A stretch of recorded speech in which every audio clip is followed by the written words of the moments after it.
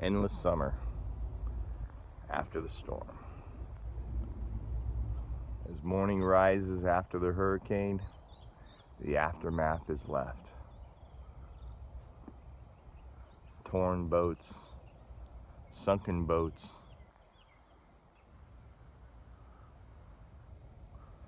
boats that should have never survived, but did.